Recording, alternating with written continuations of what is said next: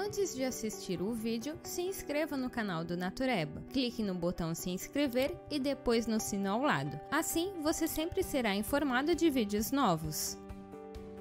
E aí, Naturebas, tudo bem? Se te perguntassem qual o local mais contaminado da sua casa, qual seria a resposta? Para muitos, o banheiro certamente seria a primeira aposta. De fato, as chances do seu banheiro estar cheio de micro-organismos nocivos é grande, mas se engana quem acredita que é por causa do vaso sanitário. O maior culpado é o chuveiro. Pelo menos é o que dizem os cientistas que realizaram um estudo com o intuito de analisar o interior dos chuveiros, mais especificamente o lodo que se acumula ali com o passar do tempo. E os resultados dessa pesquisa não foram nada agradáveis de saber. Os chuveiros escondem muito mais bactérias e fungos do que você encontraria em um vaso sanitário. Por mais estranho que pareça, as casas em que a água era tratada com cloro tinham números particularmente altos de certas microbactérias, responsáveis por causar doenças como a tuberculose. Além disso, em amostras colhidas de diversos chuveiros foram encontradas bactérias e fungos que causam as seguintes doenças: doença do legionário e febre de Pontiac,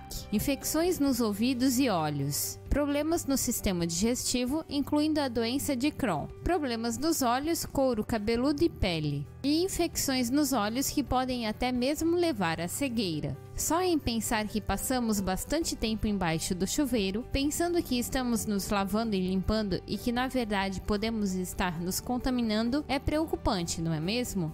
E aí, tá gostando do vídeo? Então aproveita e já deixa o seu joinha e também compartilhe com seus amigos mas não há por que entrar em pânico. Os riscos de infecções dependem muito do estado da saúde de cada pessoa. Nosso sistema imune tem um papel importante em nos defender desses agentes patogênicos. Além disso, você pode reduzir ainda mais esses riscos fazendo uma limpeza regular na cabeça do seu chuveiro. Ele deve ser tratado como qualquer outra parte do seu banheiro e precisa de limpeza. Para limpar a cabeça do chuveiro, faça o seguinte: encha um saco plástico resistente com vinagre e coloque Coloque-o de forma a envolver a cabeça do chuveiro. Você pode usar elásticos maiores para prender bem o saco plástico nele. É importante que a cabeça do chuveiro fique submersa no vinagre. Alternativamente, você pode remover a cabeça do chuveiro e colocá-la de molho em um balde com vinagre. Deixe o vinagre agir por uma hora. Depois, remova o saco plástico e descarte o vinagre na pia. Não utilize esse saco para limpar outros chuveiros da casa. Faça sempre com um saco novo. Agora, ligue o chuveiro e deixe correr a água quente por alguns minutos. O recomendável é fazer essa limpeza pelo menos uma vez a cada seis meses. E aí, gostaram da dica?